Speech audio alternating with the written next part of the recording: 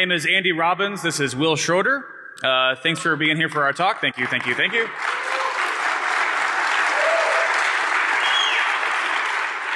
The title of our talk, An Ace Up the Sleeve, Designing Active Directory DACL-Based Backdoors. Uh, quick information about me. My name is Andy Robbins. My handle is Waldo.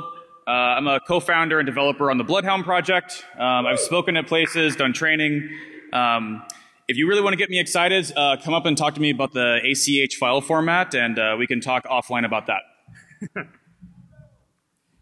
Hi, my name is Will Schrader. My handle is Harmjoy. I'm an offensive engineer at SpectreOps with this guy.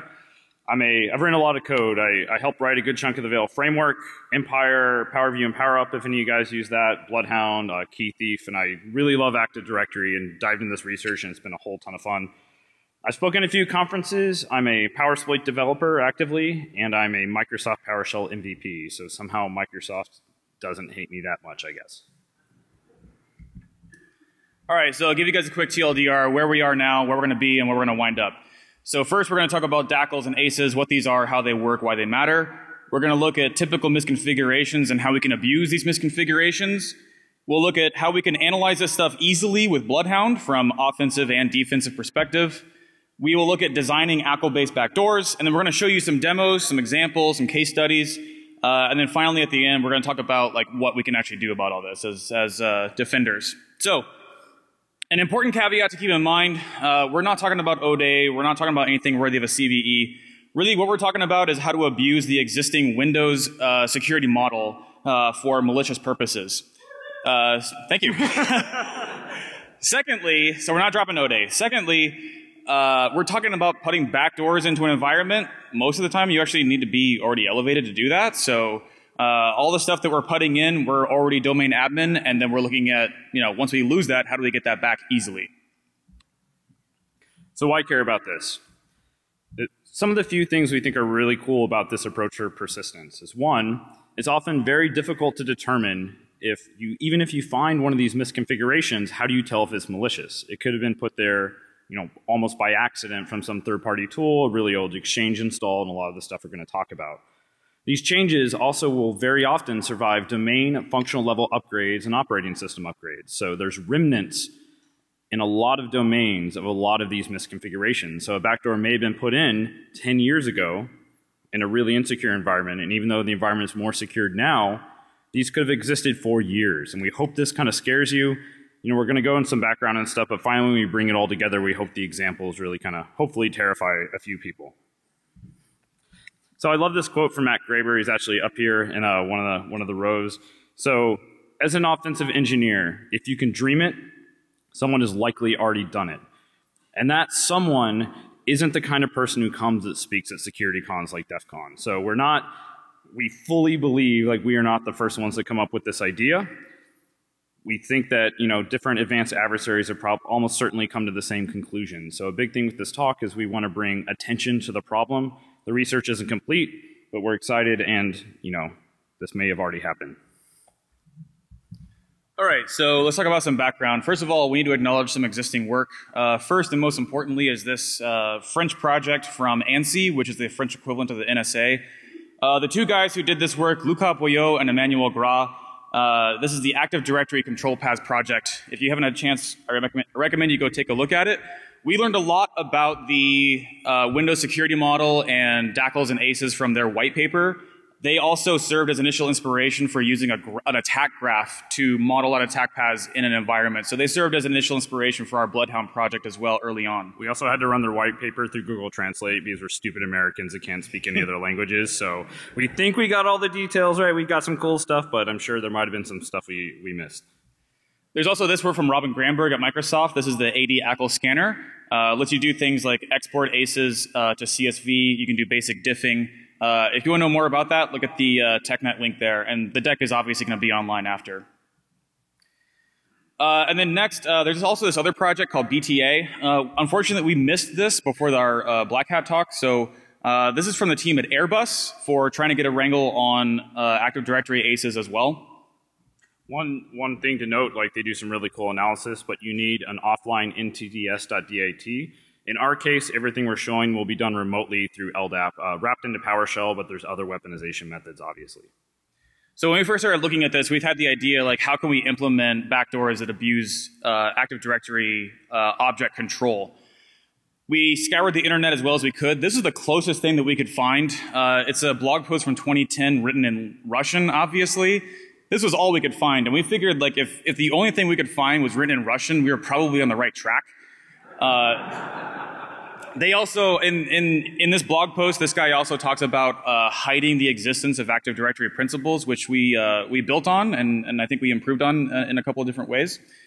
Uh, so yeah, check out that blog post and run that through Google Translate. Cool. So we're going to go into a little bit of technical background. I know this might not be as super interesting, some of these few slides, but you really need some of the background in this stuff to understand why and how these backdoors work. So securable objects in Windows. A securable object is defined by as pretty much as an object that has a security descriptor. This is a breakdown of the binary structure. So there, there's a lot of pieces to this, you know, header bits, all this kind of stuff that all this can be expressed as an SDDL, so a uh, security descriptor definition language string. If you guys have ever seen that, we're not going to really kind of cover that too much. The pieces we care about are the owner, so the SID of the owner that you know uh, for a particular object, and we care about the DACL, so the pointer to that DACL here at the end. So if you're not familiar with Active Directory, you're not familiar with the access control model. People throw around ACL, DACL, SACL, and all these types of things. People often use them interchangeably as well. So essentially, the access control list, the ACL for an object, is basically shorthand for the, uh, the DACL and the SACL superset. So the discretionary access control list that you saw on the last slide, and the system access control list, the SACL.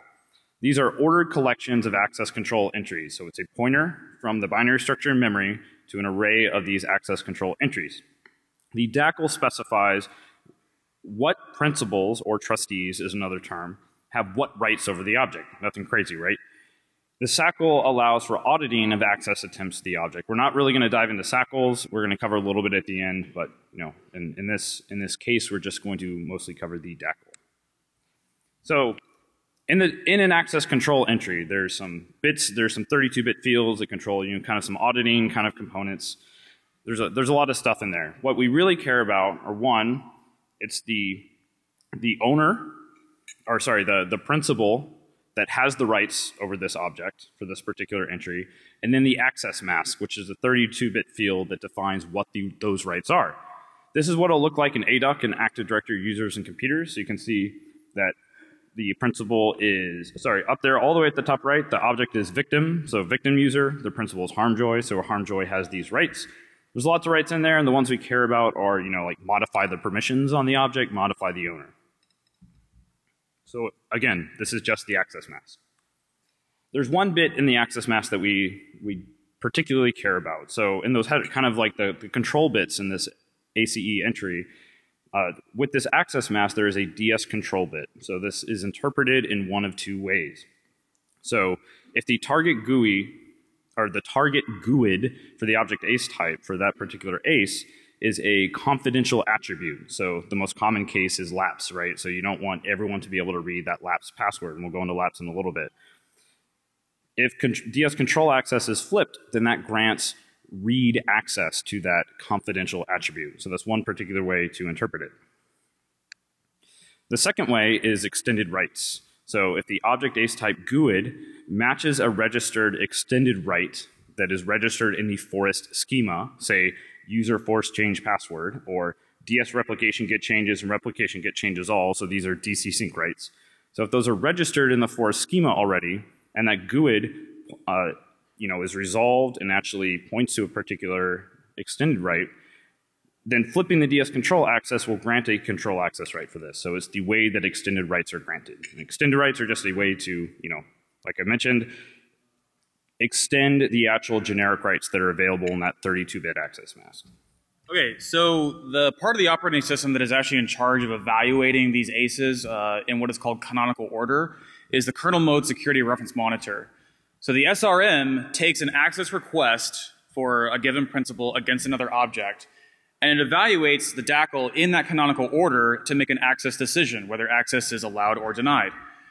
Importantly, we can, use, we can abuse this function of SRM to hide uh, principals or to hide the existence of DACLs.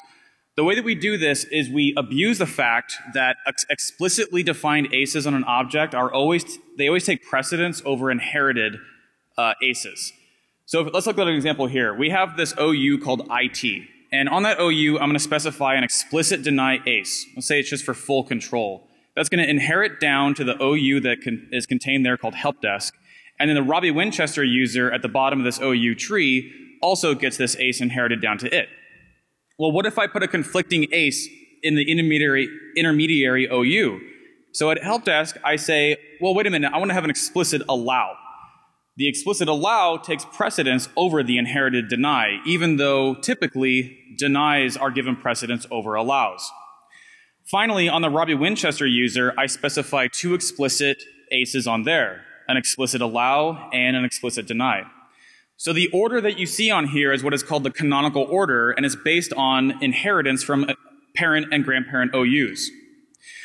So the explicit deny will be evaluated first, then the explicit allow, then the inherited allow, and then finally the inherited deny. The green inherited allow on Robbie Winchester is given precedence over the other inherited ace because generationally that OU that it inherits that ace from is closer. So let's look at some typical DACL misconfigurations for how we can do object takeover and how we can abuse these. Another caveat that I'll remind you of, uh, we're talking during this talk primarily about persistence. We're not looking at privilege escalation for this talk. Uh, we do have content on my blog if you want to read about that. Uh, but the primitives for object takeover are going to be the same. Additionally, we're looking at chaining together multiple different control relationships between different principles to make this very, very difficult for a defender to find. So you have user objects and Active Directory. How can we take over a user object by abusing these access control entries? There are two primitives that we have for you. One, we can do a targeted Kerber roasting attack. By a show of hands, who knows what Kerber roasting is? After our talk is done, go read Sean Metcalf's blog about Kerber roasting. It's going to change your life. So basically, we can set a value on a service principal name for a user, and then we can request a Kerberos ticket back from the domain controller for that user as any other user, and then we can crack that ticket and recover that user's clear text password. Anybody in the domain can do this. Secondly, we can change the user's password without knowing its current value. This is the privilege that you give your help desk so that they can change people's passwords after they fat finger and lock themselves out. At the bottom here, we have two PowerView commandlets that can abuse these, set domain object owner and set domain user password. There's also one for setting a user SPN. How can we take over a group object? Well, what we're interested in is not necessarily the group, but we're interested in the privileges that the group has. So if we have the ability to add an arbitrary user to that group, we can give ourselves the same rights that that user has and ride that existing privilege forward. We can write property to all properties to do this, or we can have write access only to the member property, and we can add a user to that group. In PowerView, you do this with add-domain group member. For computer objects, this gets a little bit tricky because the only thing that we know of right now is being able to abuse a lapse installation. And so if our user has the ability to read the local admin password attribute on the computer object, obviously we can pivot to that system and we can be a local admin. If you have other ideas about this, we are very, very excited to hear it. We are all ears. One thing to note as well is we are not claiming that this kind of taxonomy is complete. These are some of the primitives that we found that we've used, you know, operationally, but we know for sure there are other types of object takeover relationships. So the point of this talk is not to show you every way to take over any object. It's to show you chains of these kind of interesting backdoors. Uh, next, domain objects. So even though I'm not a local admin on a domain controller, even though I'm not a domain admin, if I have full control over the domain object, which represents the Active Directory domain, I can DC sync. DC sync, if you're not familiar, allows me to remotely request an NT hash for any other user in the domain if I have that privilege. Thank you, Benjamin Delpy and Vincent Letou for DC Yes. sync. Yes. Uh, so the two explicit privileges that we actually need for this, we don't need full control of the domain object. We need DS replication get changes and DS replication get changes all. Then we can request NT hashes for any user, including the curb TGT, which is interesting, and we'll show you why later. So, group policy objects. This is one of the few relationships that we don't have incorporated into the Bloodhound schema yet, because we're going to have to write a custom pathfinding algorithm to handle all the weird inheritance issues. What the main takeover primitive is, can you modify the GPO?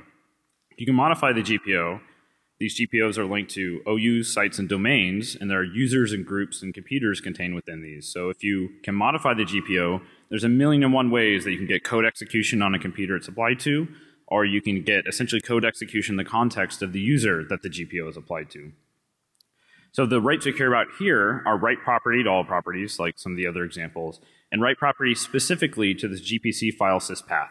This represents the rights to actually modify the GPO, and if you modify the permissions on this, those permissions will actually be cloned down to the file system in sysvol. So if you have the rights, or modify the rights, then you can just go straight to sysvol and modify any of the GPO settings. There's a set of a few rights that apply to pretty much all the objects. So generic all, this will grant you all generic rights like we mentioned. It also covers some of the controller object takeover rights that we're going to cover in the next slide. Generic right allows for the modification of almost all properties except for those confidential properties uh, handled by that DS control access bit. These are abusable PowerView set domain object. Again, this is how you could do that targeted Kerber roasting. And again, these rights normally apply to most objects for takeover. So, control rights. These are rights that allow a principal or trustee to take control of a particular object. So, if you have write DACL, you have the ability to modify the security information for an object you can add whatever new ACE entries you want. So you can grant yourself whatever rights. So if you have write DACL in the domain, you can grant yourself DC sync rights. And again, that's abusable with add domain ACL. With write owner, owners have implicit full control of the object despite any existing, you know, deny ACEs or anything like that. This will come into play when we actually want to hide the DACL and things here in a little bit. So this is also available with PowerView with set domain object owner. Okay, so let's slow down for a second. Let's do some visuals uh, to kind of make sense of what all we're talking about. We're going to look at some analysis that we can do with the Bloodhound interface. We added several of these ACE edges into the Bloodhound database so that you can hopefully easily map out what these existing control relationships look like.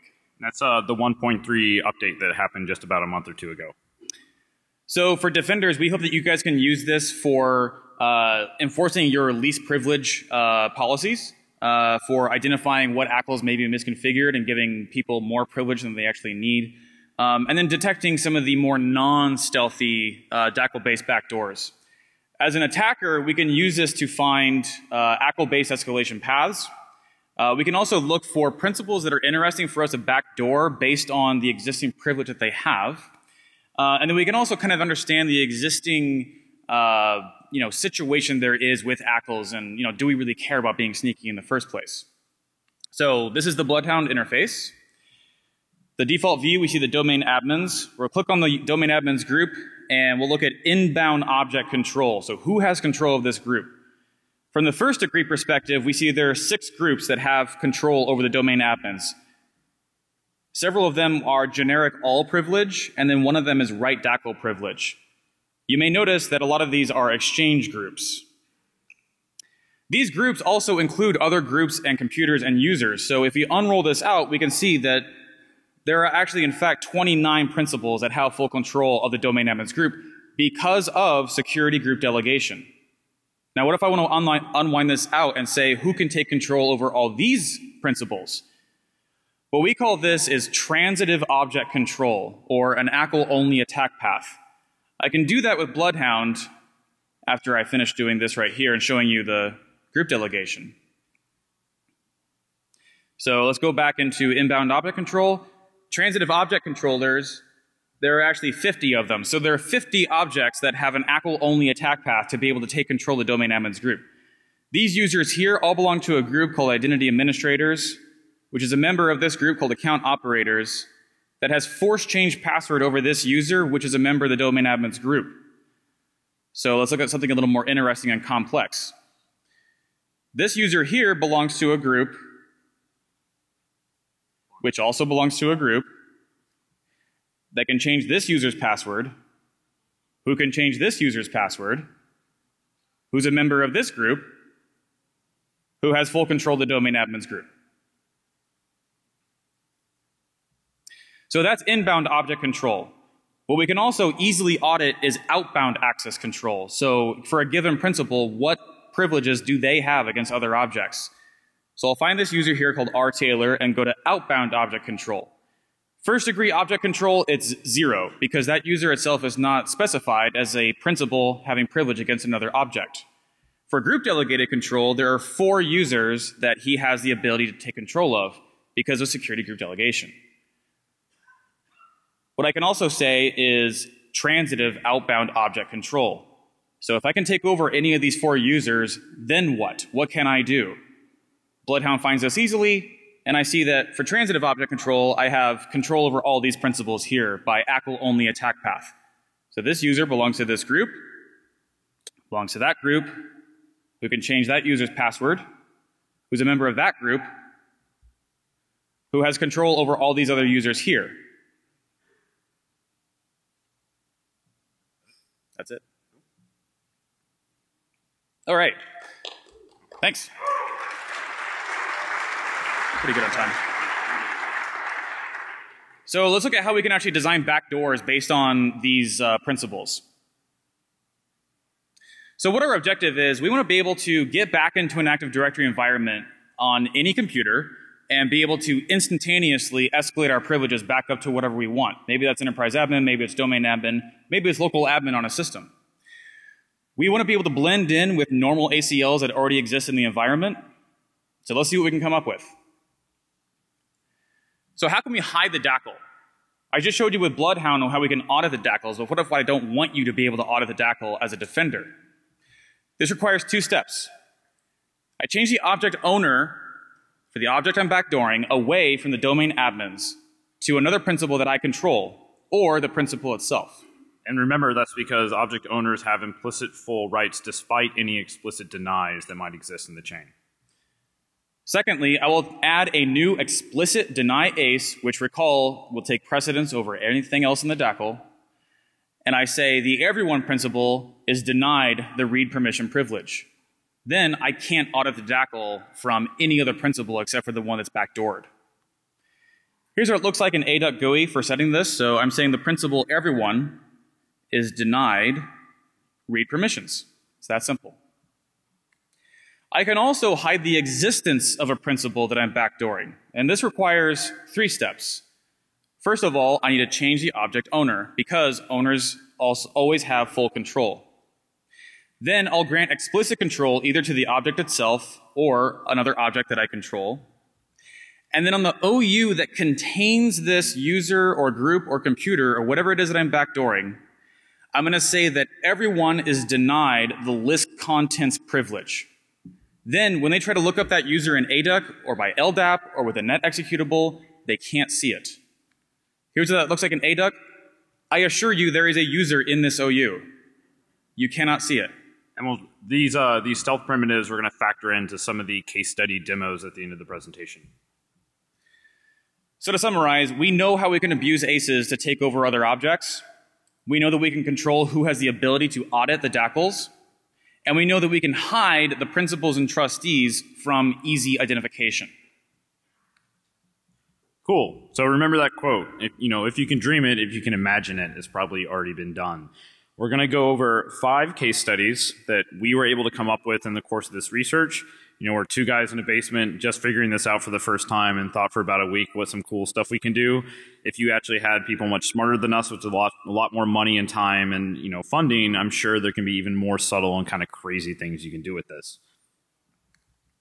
So the first one, like we mentioned, you don't need to be domain admin to DC sync. DC sync is entirely dependent on two aces on the principal domain object. And again, all domains are, a domain is actually represented as a domain object in Active Directory.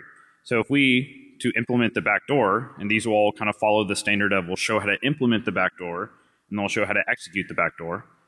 So if we add manually DCC DS replication get changes and replication get changes all rights to the domain object, then this user, who's the attacker controlled user, who's not in any privileged groups, you know, just stock, just created user, has the ability to DC sync any user's account forever, unless defenders actually figure out these rights in the domain object and actually remove them. So uh, one thing to add to that is you can do DC sync remotely. You don't need code execution on a domain controller. So you can do this from any domain join system. Here's a video. So okay, I'm going to go and import PowerView. And then the bad guy user is going to be our attacker kind of control principal. I'm just going to show that the bad guy user is not in any privileged groups. It's brand new. We're going to save the SID for the bad guy user off. And then next we're going to use, and again all this PowerView stuff, we're going to use uh, an ACL enumeration commandlet and show you that there are no explicit aces on the object where the bad guy is the principal. Then we're going to use add domain object ACL, and we're going to grant DC sync rights. You could do this in your lab tomorrow. We're going to add those, then we're going to enumerate those rights again and just show you that these new explicit aces have been added. You see, okay, there's the SID for that bad guy user, and he has, now has these DC sync replication rights. Cool, cool. Now we're going to pop up a window that had, you know, it's a little small. We had a window running as bad guy. We tried to DC sync previously. We're going to try it again, and now we have DC sync rights, despite them not being in any, any privileged group. So starting simple, nothing too, you know, all right. Thank you. You know, this, this is a pretty simple example of an ACL-based backdoor, and we're going to get a lot more complicated. So admin SD holder, I don't have time to completely go into this. There's also a good time to note that for, we gave this presentation at Black Hat and we wrote a 64 page white paper that goes into excruciating detail for all these things. That will be released through Black Hat and also through our website at specterops.io. Uh, we're going to release it, release it probably next week. So if you are interested in this stuff, there's going to be tons more background and examples and mitigations and all that fun stuff. So 30 second summary, MNSD holder essentially acts like a permission template for highly privileged groups. So to implement the backdoor, the attacker grants themselves force change password or generic all rights to this CN admin SD holder system, these, this object exists in every single domain. So they add it to the object itself. Then every 60 minutes, a special process called the Security Descriptor Propagator Process, or SDProp, will run.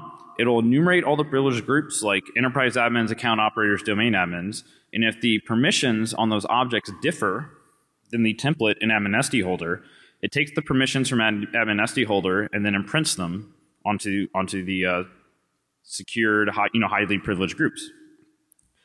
Then the attacker hides their principal using the methods described. We don't want to hide the DACL here because this is going to be cloned off into every domain admin and enterprise admin and all that kind of stuff. But we can complicate it and we can make it kind of look like an orphaned object. Then to execute, the attacker force resets the password for any account that has admin count equals one, any privileged account. Now we have a demo for this too. Okay? I'm going to load up PowerView again. Again, I'm not on a DC. I just have, I do have domain admin rights. Oh, I'm going to show the bad guy user's OU location. He's in the OU totes not evil because that's a good way to hide. Totes not evil. Then we're going to add all rights for this bad guy 2 principle to the admin SD holder object in the current domain. Now, that was, that was the actual backdoor. Now we're going to hide the principle. We're going to change that object, that bad guy 2, we're going to change the owner of that to himself. And then we're going to deny, oh, one second, we're going to get some of the raw, some of the raw objects we need to do some of this manipulation. We're going to deny everyone the ability to read the permissions on the object. Or we're going to do a complete generic all deny so no one can actually do anything on the object. And then we're going to deny everyone the right to list the children of that totes not evil OU. So this is completely hiding the principle. Commit that all off, and we could have run all these commands, you know, in three seconds. Then we're going to wait 60 minutes for SDProp to run. We're back.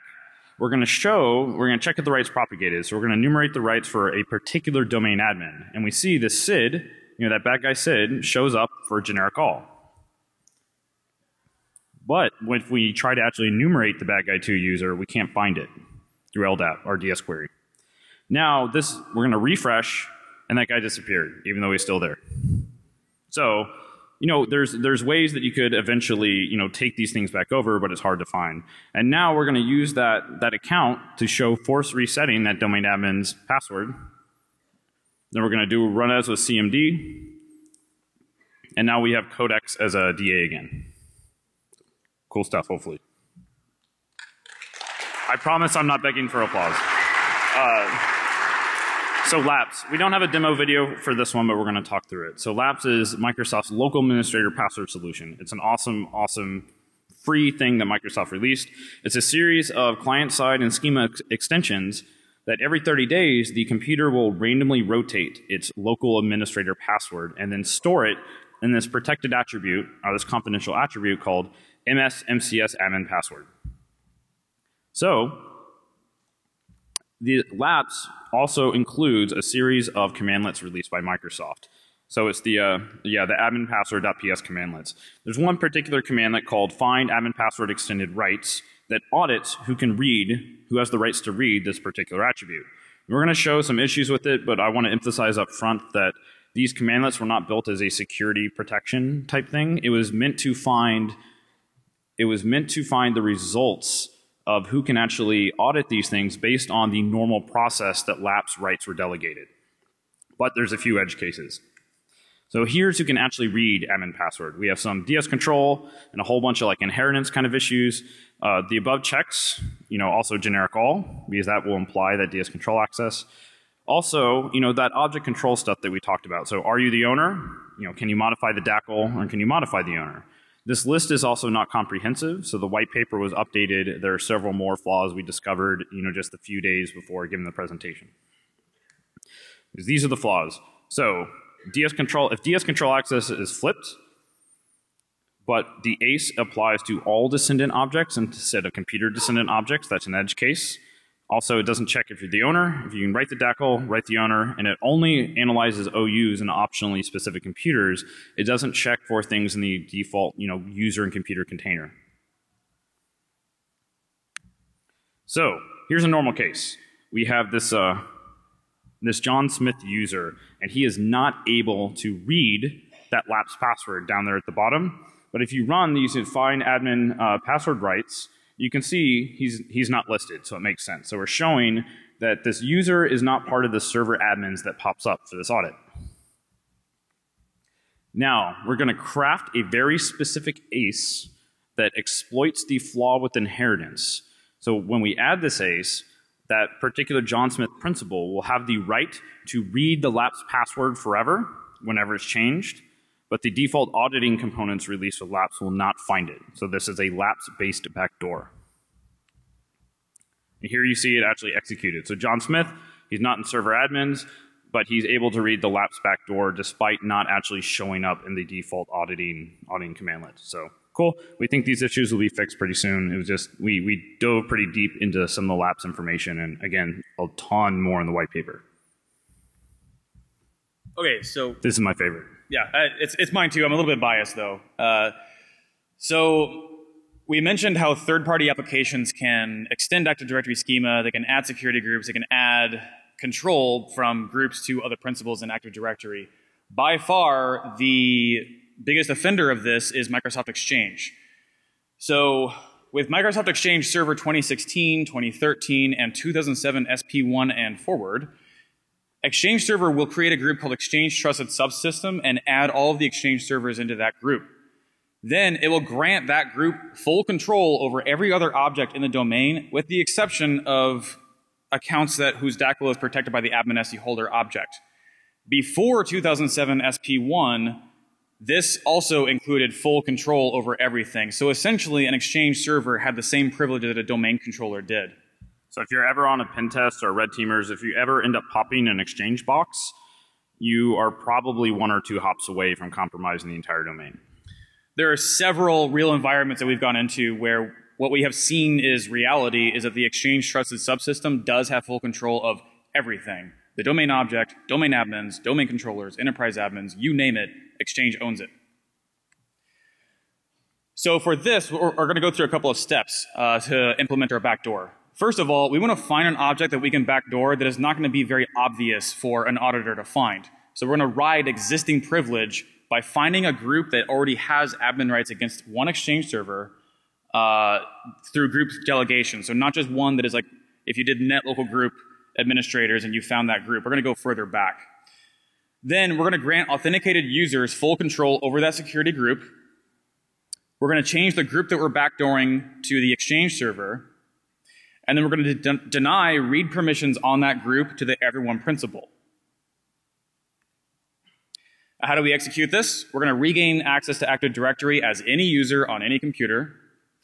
We're going to add our current user because they are an authenticated user to the domain. They have full control over the security group like everybody else. We're going to add ourselves to that group.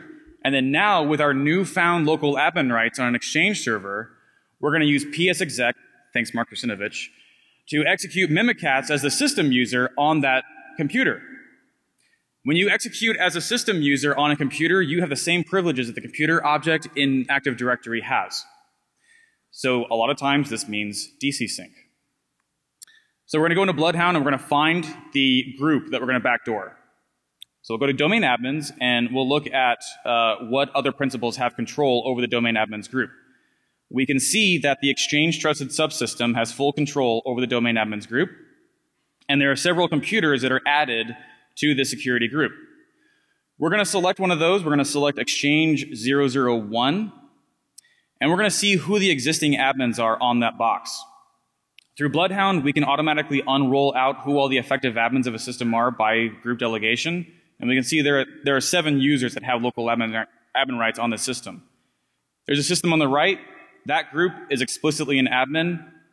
That group has a group there, and then this intermediary group also has a group called Server Backup Tier 2. This group, even though it would never show up in the local admins group on that system, is a local admin. So we're going to backdoor that group. First, we're going to import PowerView. Then we're going to get the raw directory entry for the object. So server backup tier 2, the group. We're going to grant authenticated users full control over that security group. It's done. Then we're going to change the owner of the group to an Exchange server, just for anti-audit reasons. That's done. Then we're going to deny read permissions on that group to the everyone principals. You can't easily audit this backdoor. And that's done. The backdoor is in. How do we execute this? We regain access to the environment as any user. Domain user, you're not an admin anywhere. Again, we're going to import PowerView, and then we're going to add ourselves to that security group, server backup tier 2, which is now done. Then we're going to use psexec to remotely run Mimikatz as a system user on that Exchange server. And then we're going to DC sync the kurbtgt user, which we can then use to create a golden ticket, and then we effectively then own the domain. And it's done. Oh. Exciting. Love, love those curb hashes. So, this last one we don't have a video for. It's also the most complicated. But again, it's specced out in even more detail in the white paper. So the entire backdoor consists of an attacker grants him or herself generic all to any user object with the attacker as the trustee. And then you kind of grant that patsy or proxy user the right DACL privilege to the default domain controller's GPO. That's the entire backdoor. And this is kind of a separate approach that we talk about in the paper of using, all right, a proxy or patsy type user instead of the actual attacker principal. So to execute it, get codex in the system again, you force reset the proxy user's password, you use that authentication context to add a DACL to that default domain controller's GPO grants, oh, that uh, you're adding a DACL to the GPO that allows write access to that GPC file sys path. So we are granting ourselves the right to edit the GPO itself. Then we're going to grant, through modifying the GPO, the SE enabled delegation privilege this is going to be pushed down to the domain controllers. And what this does is it allows us to modify the MSDS allowed to delegate to super protected property on user accounts. And the reason it's protected is if you're able to modify that, you can re-compromise the entire domain at will by executing essentially a constrained delegation attack through using Mimikatz and Kikyo. This is pretty complicated. I have some stuff in my blog in the, uh, earlier in January that goes into this more detail. But cool stuff. Pretty subtle though, right? It's just one user that's not the actual attacker. Then you have generic all that, and you use that user as a proxy to add the rights you want. So what we can do in the future is actually do really kind of crazy chains of this going all the way back. So not only if they find the back door, they have to walk back every possibility of someone that might have had access or could gain access to that object. So could, this is again kind of an anti-incident response measure. All right, so defenses, all is not lost. We promise. The problem with these backdoors is you have to have event log auditing turned on at the moment the misconfiguration is introduced. So if this was introduced 10 years ago and you didn't have this stuff tuned up or you don't have 10 years of event log data, which I don't think many people have, then you're not going to figure out who actually put this stuff in, assuming you can find it and assuming you believe it's actually malicious. This is why we think this is, this is a pretty cool persistent strategy. But for example, if you want to stop these from being put in in the future, there's different event log IDs like 4738, a user account was changed, and you can filter these by the particular property modified. And you don't have to mo uh, monitor for every single possible change. You just need to start monitoring piecemeal by all these kind of object takeover primitives that we talked about. And I'm also going to be putting out a blog and hopefully in the next few months that gives complete defensive guidance for every single ACL based uh, takeover primitive that we covered. Okay. So replication metadata. Metadata remnants from a domain controller are, are, actually preserved in these particular properties in Active Directory. So when the DC synchronize everything, there's this XML based metadata that you can pull out. So you can figure out when a given attribute was modified and from what domain controller the modification originated from. So this kind of points you in the right direction, but you have to go to that DC and parse those event logs to actually figure out who actually made the change. And I have a draft post that I'm going to drop that goes into the replication metadata for hunting in a lot more detail. Also SACLs, so those system access control lists that specify the types of access attempts that generate audit records in the security event log of a domain controller. SACLs have been around forever. People don't really use them because if you turn them on, there are going to be tons and tons and tons of events. But we really think that if you implement SACLs, again, just for the object takeover primitives that we talked about, you can cut down a couple orders of magnitude in the amount of noise and actually just, you know, really pay attention to the good stuff. And there's a bit.ly link that has some more information on there. Future work, we, uh, we worked really heavily with Lee Christensen, Tifkin on some of this stuff, and we tried really hard to set a null DACL for or otherwise manipulate the uh, header control bits like SE DACL present. So the idea being, you know, like you can do on a host, setting a null DACL so anyone in, you know, any anybody authenticated users could have access. But any attempts to set the NT security descriptor remotely on an object were ignored. But this warrants another look. We weren't able to get it working. The documentation said why, but there might be a way to do it. We also want to research additional control relationships, particular those takeover primitives for computers as well as uh, SACL type auditing. So credits, we want to special thanks to all the people who helped us with the slide deck and research. Definitely Lee Christensen, Tifkin, uh, he really, really helped us. Jeff Demick for content review, everyone else at SpecterOps, and also Mac Graber, who used to work with us, gave us some really good feedback and some really, I don't know, he really, really good feedback and kind of content review. So with that, we're pretty much done. We can have a few questions, and if we run out of time for that, we'll be outside.